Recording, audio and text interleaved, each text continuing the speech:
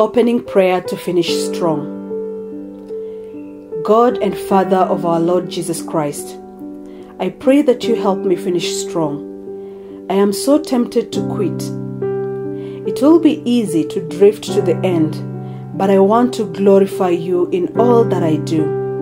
So please help me finish strong. When I feel weak, please give me your strength.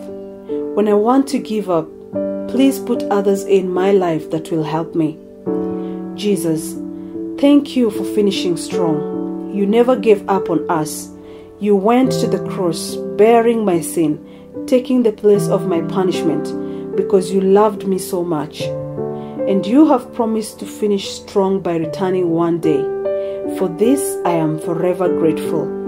Help me never forget what you have done for me, and help me to finish strong.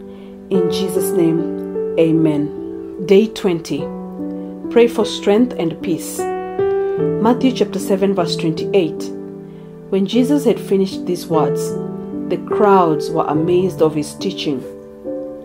Matthew chapter 19, verse 30. But many who are first will be last, and the last fast.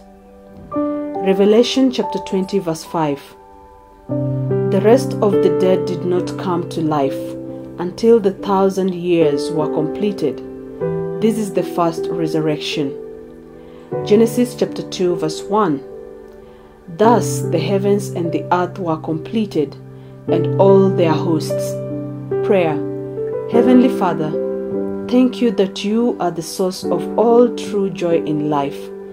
The Bible says that you will do whatever I ask in Jesus' name. Hear my prayer in the name of Jesus for a breakthrough in my life. May you, the God of all grace, who has called me into eternal glory by Christ Jesus, make me holy, strong, and filled with peace. To you be glory and honor forever and ever. Through Jesus Christ our Lord. Amen. Daily Declaration I declare by faith during these last days of this year, I will not die prematurely. My loved one shall not die. Our businesses and ministries shall not die. My loved ones shall not die. Our businesses and ministries shall not die. I will live to see 2023 and beyond in Jesus' name. Amen.